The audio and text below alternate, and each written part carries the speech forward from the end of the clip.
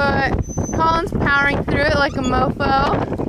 And I've had my share of battle wounds too.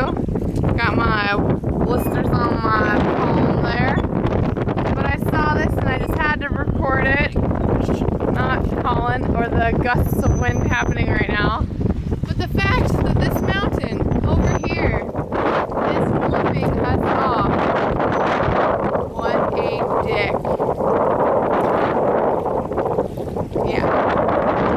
Let you know. We're gonna get back to work.